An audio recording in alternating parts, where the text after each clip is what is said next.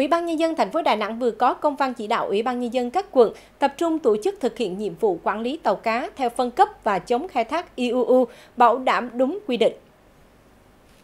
Chủ động phối hợp với Sở Nông nghiệp và Phát triển Nông thôn kiểm tra, rà soát toàn bộ các tàu cá, giám sát chặt chẽ, Ủy ban Nhân dân các phường có hoạt động nghề cá tiếp tục theo dõi, cập nhật hiện trạng hoạt động và tăng cường giám sát chặt chẽ các tàu cá của địa phương không đủ điều kiện hoạt động khai thác thủy sản. Định kỳ vào ngày đầu tuần, cập nhật về vị trí, địa điểm đang neo đậu của các tàu cá, phát hiện ngăn chặn kịp thời các tàu cá có biểu hiện nghi vấn tổ chức đi khai thác hải sản và xử lý nghiêm các trường hợp tàu cá cố tình đi hoạt động khai thác khi chưa có đầy đủ giấy tờ theo quy định.